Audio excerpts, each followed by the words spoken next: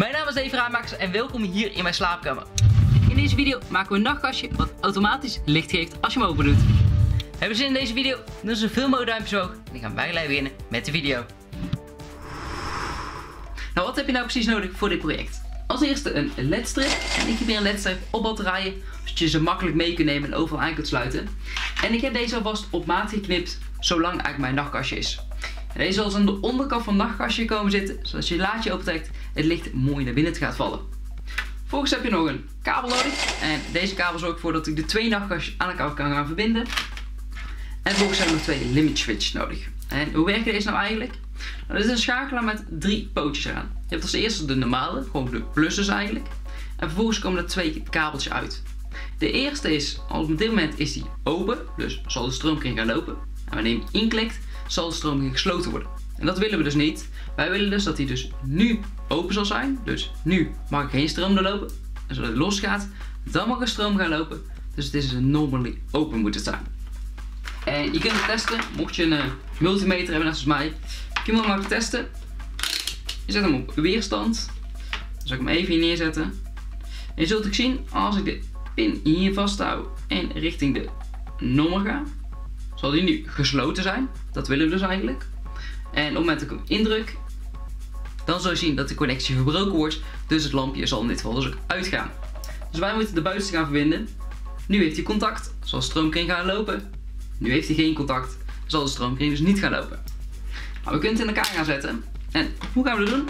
Eigenlijk heel simpel. We leggen deze heel even aan de kant. We gaan namelijk als eerste een stukje kabel pakken. En ja, de lengte mag je zelf weten voor de kabel. Ik zou zeggen, pak een lengte die je redelijk kunt gaan gebruiken. Dan gaan we zo eventjes een stukje uit elkaar halen. Zo, ik hem even helemaal uit elkaar. En dan gaan we de kabels aan de bovenkant strippen. Nou, je kunt het met striptang doen, maar je kunt het heel simpel gewoon met je kniptang voorzichtig gaan doen. Doe maar beide kanten. Nou, als je de kabels gestript hebt, kun je ze eigenlijk gaan vastsolderen aan je ledstrip. Nou, we draaien eventjes de kabels in elkaar. En dan kunnen we zo gaan vertinnen. En wat betekent dat nou eigenlijk vertinnen? Dat betekent dat je een klein beetje soldeert en op gaat vastzetten. Meest soldeerbout, zodat je hem later makkelijk kunt gaan toevoegen. Ik vind hem vrij groot, dus ik vouw hem even dubbel. Moet de kabel ook gelijk wat makkelijker ontsolderen. En dan gaan we hier een beetje soldeerten naar toevoegen. Ik heb hier al soldeerbout. Let op, die is gloeiend heet. Dus kom niet met je vingers er dichtbij. En ik heb hier wat gesoldeerd in. Nou, gesoldeerd dan heb je verschillende maten en verschillende vormen eigenlijk. Ik vind het fijn voor nu om voor de dikke soldeerd in te gaan. Maar ik zou zeggen, kijk even wat jij het zelf het fijnste vindt. Het eerste wat we dus gaan doen, is een beetje soldeerd in toevoegen aan het kabeltje. Dat is een beetje lastig vasthouden zo. Dus ik heb hier een soldeerhandje. En uh, daar kan ik heel makkelijk de kabel in klikken. Zo. Ik pak soldeerbout erbij. Doe een beetje kabel warm maken en voer er langzaam wat soldeert in toe.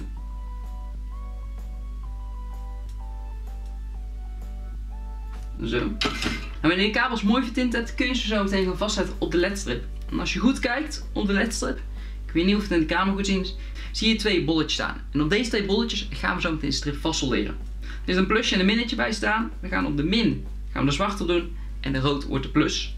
Nou, je ziet dat de beide mijn kabels ontzettend lang zijn. Dus we knippen ze een stukje af. Zodat ze ook niet te lang zijn. En deze die kunnen we hierop vast gaan zetten. Het is misschien een beetje lastig te zien, dus ik ga ze even vastsolderen. Kom ik zo meteen bij jullie terug. Nou, ik heb op dit moment de ledstrip vastgesoldeerd en die kunnen we ze eigenlijk gaan verbinden aan de stroomkast. Maar, zoals je ziet, hebben deze geen kleuren. Dus we moeten even gaan kijken wat de plus en de min is. De simpelste manier is ervoor om even de kabeltjes uit elkaar te houden. Dus let op, ze niet in elkaar aankomen. En even het kastje te vullen met batterijen. En vervolgens kun je hem gaan aanzetten en kun je eigenlijk gaan kijken wanneer de leds aangaan. Een led werkt namelijk op één manier. Oftewel, de stroom moet je via de plus laten lopen. Loopt de stroom via de min, zal de lamp dus ook niet aangaan.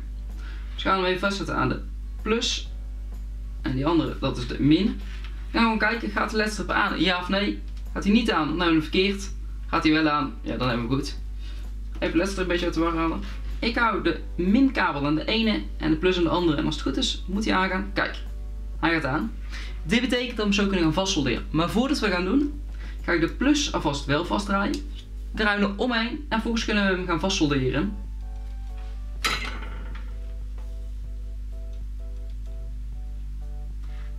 Nou, zoals je ziet heb ik op dit moment de kabel vastgezet. De min is vastgezet aan de battery pack, alleen de plus nog niet. Want wat gaan we doen? We gaan eerst een stukje extra kabel aan toevoegen. Ik knip even een stukje kabel af. Dat is ongeveer eh, deze lengte denk ik. Zo. En die halen we uit elkaar. Want wat ik namelijk wil gaan doen, ik wil de plus niet gelijk vastzetten aan de battery pack. Ik wil dat die eerst door de schakelaar heen gaat. Want anders blijft de lamp natuurlijk altijd aan of altijd uitstaan. Dus we gaan ook hier een stukje kabel bloot maken. Aan beide kanten natuurlijk. En vervolgens gaan we die aan de battery pack vastzetten. Let op, zet de battery pack natuurlijk wel uit voordat je gaat solderen. Nou, we draaien hem simpelweg gewoon omheen. Kan soms een beetje lastig zijn, maar oefening bij het kunst niet mee. En vervolgens kunnen we eigenlijk vast, gaan vastzetten aan de schakelaar. Maar voordat we dat doen, doe ik eerst een stukje krimpfolie overheen. En zorg ervoor dat de kabels niet geen kortsluiting met elkaar kunnen krijgen. Heel simpel, die kun je gewoon halen in China bijvoorbeeld. En dat zijn van de buisjes. Je knipt er een stukje vanaf. En je doet hem eigenlijk om een van de kabels heen. Het beste is om zo om de plus en de min natuurlijk te doen. En vervolgens schuif je eroverheen. Dan kun je eigenlijk met een aansteker of simpelweg met soldeerbout langzaam langs heen gaan om zo te laten krimpen. En dan smelt hij eigenlijk aan elkaar vast. Zo. Nou, vervolgens zit hij vast en kan er eigenlijk niks mee gebeuren en kan dus geen kortsluiting ontstaan. Vervolgens gaan we het schakelaar vastzetten. Als eerste gaan we vastzetten aan de normale kant.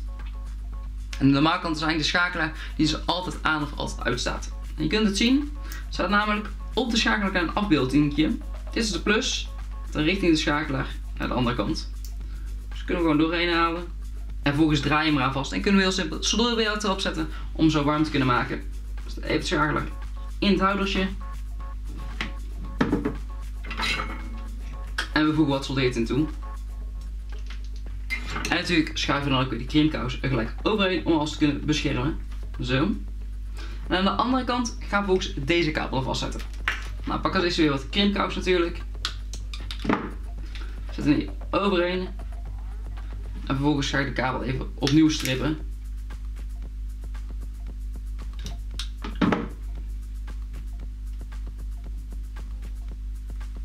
En we doen dit wel dus door deze kant van de schakelaar heen.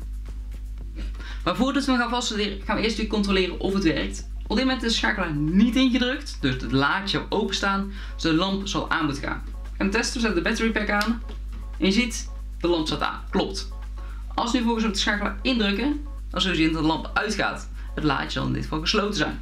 Maar dit werkt, dus kunnen we dit gaan vastsolderen. We doen de krimpkous overheen. Zet hem in het houdertje. En we solderen hem vast. En uiteindelijk, zoals je ziet, heb ik hier de schakeling gemaakt. Ik ga hem nu aanzetten. Je zult zien, de lamp gaat uit. En als ik het laadje zou gaan sluiten, zal de lamp dus vanzelf moeten doven. Nou, het werkt ontzettend goed. Ik ga er een langere kabel aan toevoegen voor het tweede nachtkastje. En dan kom ik zo meteen bij je terug. Oké, ik heb op dit moment alles vastgesoldeerd en zoals je ziet zit een flink lange kabel aan. Dat komt natuurlijk omdat een van de ledstrips aan de andere kant van de bed bij het andere nachtkastje komt. Dus vanuit de lange kabel. Ik heb hier battery pack en als ik hem aanzet zul je zien dat allebei de leds aangaan. Oftewel, op dit moment zijn allebei de laadjes open. Als ik een van de schakels indruk, sluit zo'n laadje, zul je zien dat die ledstrip ook moet uitgaan. En de tweede blijft nu wel aan. Dus ik allebei in klik, gaan ze allebei uit. Oftewel, ze kunnen onafhankelijk van elkaar bewegen. Dat maakt helemaal niks uit. En als je alles uit wil zetten, kun je natuurlijk nog een battery pack daaruit zetten. Oftewel, op dit moment werkt het. En het grote voordeel om een batterij te werken is dat je heel makkelijk in de oplader kunt stoppen. Maar omdat het een systeem is wat op 4,5 volt werkt, kun je heel makkelijk ook deze veranderen door middel van een USB-kabel. En zou je hem zo aan een bijvoorbeeld een powerbank kunnen gaan aansluiten. Maar dat is misschien voor een latere video. Ik ga nu richting de slaapkamer en gaan jullie kijken hoe we deze vast gaan zetten. Let wel op, van tevoren ga ik eventjes deze dingen beter vastzetten. Het is namelijk zo, ik heb overal krimkous omheen gedaan. Hier moet ik ze nog vastsmelten. Maar bij de ledstrips kun je niet echt goed de krimkous vastzetten. Dus dit kun je het beste oplossen door een beetje lijm op te doen van bijvoorbeeld een lijmpjestool. Oké, ik zeg, ik ga even de setting omzetten. Dan gaan we op naar de slaapkamer. Oké, we zijn nu met hier aangekomen bij de slaapkamer. En dit is het laadje waar ik het over heb. Als ik zo meteen het laadje opentrek, wil ik dat de lampje onder en aangaat. Nou, wat gaan we voor doen? Als eerst even het laadje zelf uit te halen. Wat we vervolgens willen gaan doen, is dat we hier aan de zijkant de schakelaar vast willen gaan zetten. En hier bovenop de ledstrip. Nou, ik wil eventjes de battery pack als eerste wegwerken. Dus we gaan eventjes de kabels bij elkaar zoeken. Ik heb het net alles bij elkaar gezocht en we kunnen alles gaan vastzetten. Als eerste wil ik de ledstrip hier bovenaan gaan vastplakken. En ik wil de schakeling aan de zijkant gaan vastzetten. En de battery pack die blijft hier zo meteen in de binden liggen. Dus als eerste ga ik hem even vastzetten zelf. Nou, we halen gewoon de plakstrip aan de achterkant eraf. En vervolgens plakken we hem bovenaan in een nachtkastje.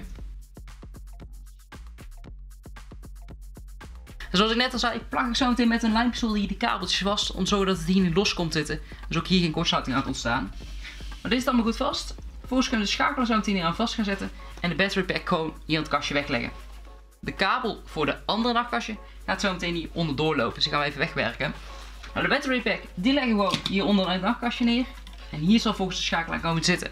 En let erop bij het zetten van de schakelaar dat hij zo goed tegen het laadje moet klappen. Dus ik ga hem helemaal aan de buitenrand vastzetten, zodat ik zeker weet dat het tegen aankomt. Ik zou hem persoonlijk niet aan de bovenkant zetten, maar een beetje aan de onderkant. Zo weet je zeker dat het werkt. Doe het niet te dicht naar de onderkant, want dan kan zijn dat je laadje vast blijft zitten.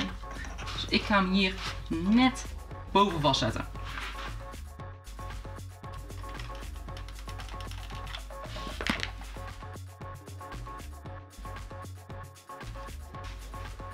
Oké, het is op dit moment een tijdje later en ik heb hier de lamp erin vastgezet. En als we het laadje opentrekken, zul ik zien, hij gaat vanzelf aan en we kunnen eigenlijk zien wat er in het laadje zit. Nou, de tweede, die moet ik nog zo meteen vastzetten. Maar zoals je ziet, kastje open, lamp aan. Als je laad dicht doet, gaat de lamp vanzelf uit. Nou, je kunt de la ook vervolgens uithalen. En als je het la weer uithaalt, kom je heel makkelijk weer bij de binnenkant uit. Ik heb de kabels hier weggewerkt achter deze strip waar de gla overheen glijdt. Dan zorg je eigenlijk voor dat het niet hier tegen de kabels gaat aanzetten.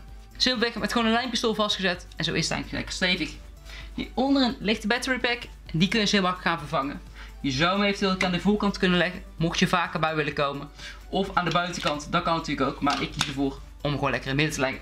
Ja, vonden jullie deze video leuk? Doe dan zeker de blauwe duimpje ook. En weet je ook zeker te abonneren op mijn kanaal hier beneden. En zie ik jullie graag de volgende keer terug bij een nieuwe video op mijn kanaal. Tot de volgende keer.